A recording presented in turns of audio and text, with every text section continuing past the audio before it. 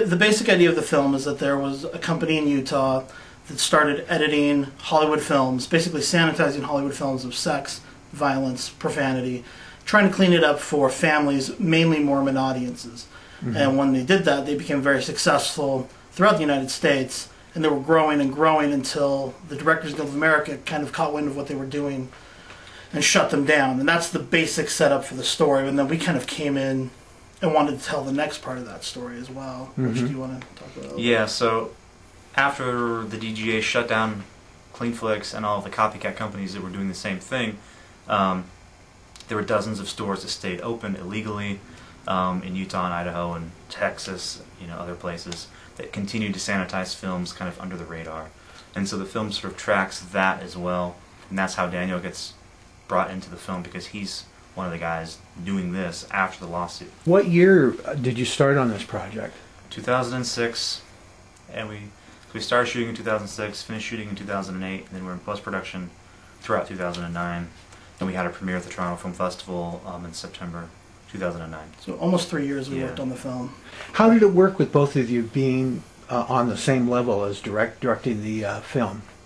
We just at first we kind of just took turns. We'd like, okay, you edit for this many hours, I'll edit for this many hours. We just kind of slowly going through the footage. We get together every once in a while and look at what we've been working on and talk through it, and it just and just kept narrowing it down. And I mean, of course, there's always challenges when you've got you know a partnership of any kind, you know. Um, but I think it worked out really well, actually. Where did you meet at film school, or what's what's your uh, past together? We met through one of the producers of the film. We didn't actually know each other before we started making the movie together. Um, one of the producers kind of had the idea, and he said, "You two should work together." And he set up a lunch, and we met and started filming really quickly thereafter. And yeah, That was one of my questions I was going to ask is, w- at what point did you have the thought to, to do this film? But it was actually the producer that had the idea for this film, and then he procured you to go ahead and direct the show. Is that is that correct? Kind of. Of. Yeah. Yeah. it's a it's a topic that I've been interested in a long time, and I just wasn't sure if we could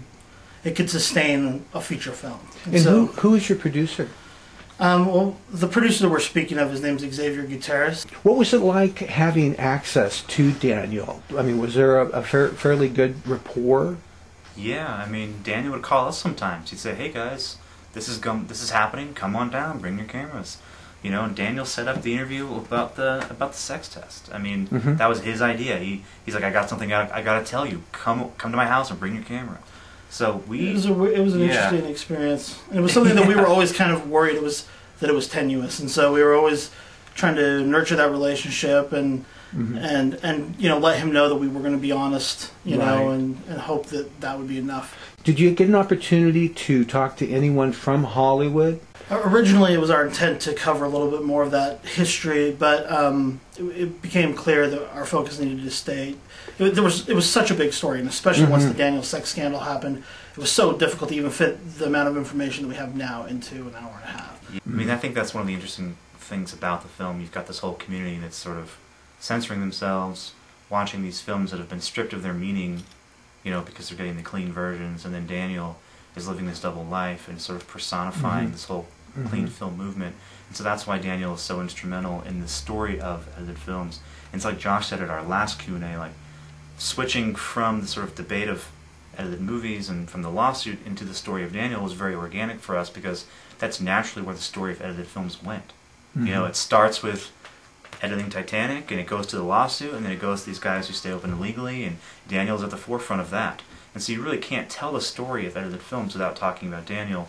And so for us it was less about the history of movies or the history of, of censorship and more about telling this story, the mm-hmm. story of edited films. And mm-hmm. so it's you know Titanic, it's clean Cleanflix, it's all these companies, this growth, this lawsuit, and then these companies that stay open illegally and Daniel sort of And ending with Daniel, who kind of personifies the entire culture of censored. Do you have any other uh, projects in Yeah. line for yourself both, right Yeah, now? we both have new projects. Are you working on them uh, presently, or just gearing up for them? Mi- mine's about halfway finished. My next film is um, takes place in New Mexico, and it's about this group of basically grave robbers who are robbing Native American grave sites and selling the artifacts on the black market to really well-known museums and These are auction Indian, houses. Indian burial grounds. Yeah, exactly. Oh wow. And um, our film kind of tries to uncover the blo- the way that the black market works for. them. I just watched things. uh, uh, Real Engine. Too. Have you Yeah, seen that exactly, that uh, documentary? Yeah. How about yourself? Are you working? Um, on- yeah, my next uh, project is um, sort of in pre-production slash production right now. That's called Street Fighting Man, and it's about um, grassroots activism on the east side of Detroit. Takes a community bent and sort of follows different member, different residents of that community as they do different things to sort of bolster their neighborhoods. Um, because there's no public funding, schools have closed down, police stations have closed down. so they're policing themselves. They're policing themselves, they're growing their own food, and they're doing anything they can to sort of bolster their community. And so the film is going to take a look at like these people's lives and just show like what it takes to survive there. Um, it's sort of like a new thing to the American experience, um, where communities are basically fighting for their own survival because there's no uh, public funding. Those are great, great subject matter. Oh, Those are so. fantastic. you know, I, I think I think I think I think that's the uh, the one ingredient that really makes a great uh, documentarian is coming up with the premise right. of what to film. That's that's definitely the most important aspect. And And we got lucky with Cleanflix. yeah, we did. We're, I think what we're trying to do with our new films, both of us, is take then then take it from the story point and take it to the next level, and really try to make cinematic works that can hold up to you know any fictional feature film and really tell a cinematic. Well, we'll story. probably be seeing you next year with your uh, Sure hope so. or the year after, depending on when we finish. right. Yeah. Andrew. Thank you very much, Thanks for having us. Joshua. Thanks. It's a pleasure.